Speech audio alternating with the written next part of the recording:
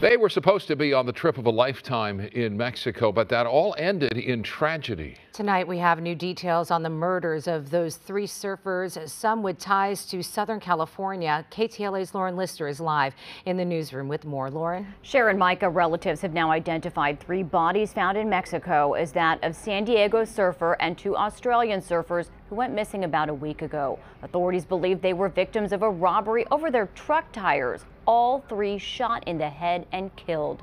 The three friends were found slain, their bodies discovered by authorities at the bottom of a remote 50-foot deep well miles from where they were believed to be shot. San Diego soccer coach Jack Carter Rhoad and Australian brothers Callum and Jake Robinson had gone on a Baja surf trip, camping in and around Ensenada, then going missing April 29th after they didn't check into their Rosarito Airbnb. The mother of Callum and Jack Robinson had posted their picture on a Baja Tourism Facebook page asking anyone for help finding them. On Friday, their remains were discovered near a burned out pickup truck the men had been traveling in.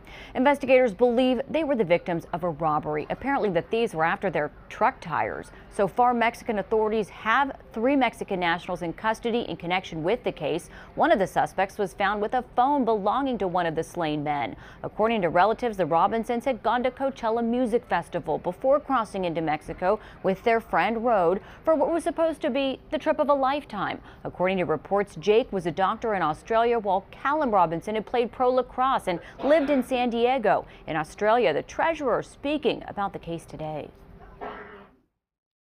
I wanted to start with the uh, frankly horrendous news uh, that uh, the bodies of Callum and Jake Robinson have been uh, formally identified, as I understand it, by uh, their parents uh, in Mexico.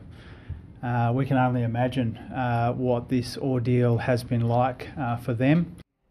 Meantime, a vigil held for the American Jack Carter Rhoad at Point Loma Nazarene University, where he graduated in 2014 and where friends said he was most recently on the soccer coaching staff, living in Ocean Beach, set to be married soon.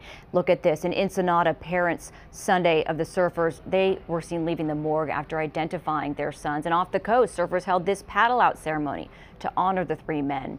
The chief prosecutor in Baja saying this wasn't an attack because the men were tourists. It was with the intent to steal a vehicle, theorizing that the three men resisted and were shot.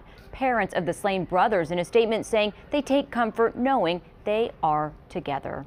That's the latest live in the newsroom. Share back to you.